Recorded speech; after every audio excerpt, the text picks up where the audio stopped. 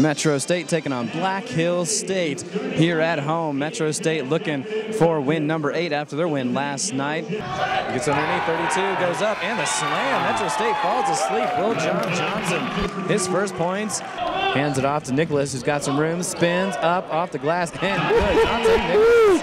That's just a pretty play by Nicholas. One, Haney Three-point attempt, that is good. Adler, the freshman guard, with a trifecta. Stolen two, one, just thrown up by Evans. That's off the glass, but does not go in. Metro State, after holding up to a 12-point lead, now down to eight. Five, four, Evans, long three-pointer, he's fouled. Oh. Great opportunity for a four-point play. That's just awful defense to start the half. And rebound by Metro State. He's got Reggie Evans, who's cherry picking on one and goes up one. Oh. Slams it hard. He made the rim move on that one. Oh my goodness. That kid can jump out of the gym. Yeah, you're going to need a timeout after that one. Two. Underneath, nice pass to Johnson. Johnson comes up with an open three-pointer corner. That is good. They take their first lead since the beginning of this game, 55 to 53. Calista gets a pick, doesn't use it, goes left, up, in, and the foul. That's what they Nicholas needed. with the big basket to end this run. That's Johnson over to Nicholas. Nicholas underneath. Morse back and good. Nice job. A great pass from Nicholas to Morse. Porter from Tanner Adler. Oh, and two points Get by two. Pordorf, who takes it. Like you mentioned, if you have it, take the two. They do. Pordorf all the way to the rim, 64 to 63 now. That one's short. Two-point lead, 12 seconds left to go. Here comes those yellow jackets.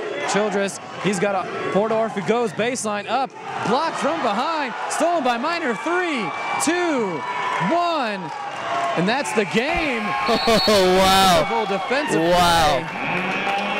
That was really well done by the defense. That was that was huge. Metro State again for the fourth game in a row. It's coming down to the last seconds. Last night they pull off a win thanks to two free throws, and this time they get a couple free throws and they get a block at the end of the game. We're an exciting game here at the event center. Talk about we were talking about this a little bit after, off the camera, but how good it is to get these kind of wins early, so it gives you more experience down the line.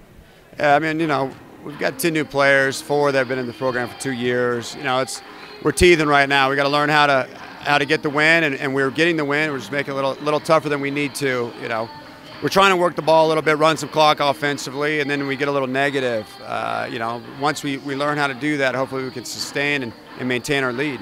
So what did Black Hills do so effectively? They had a 17-0 run to retake that lead.